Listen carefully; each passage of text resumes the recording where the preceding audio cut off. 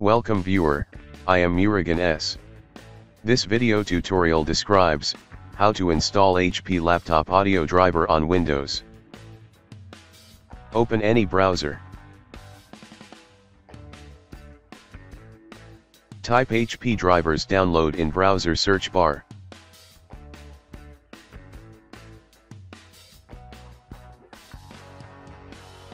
Click Software and Drivers. Select laptop or desktop.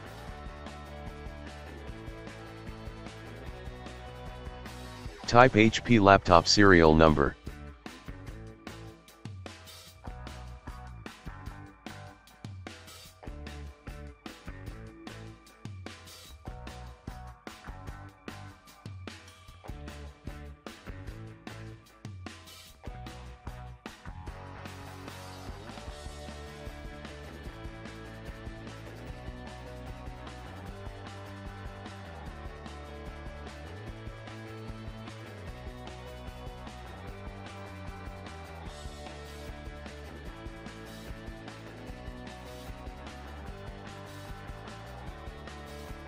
Click and expand all drivers.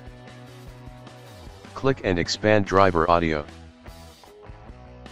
Select recently updated audio driver.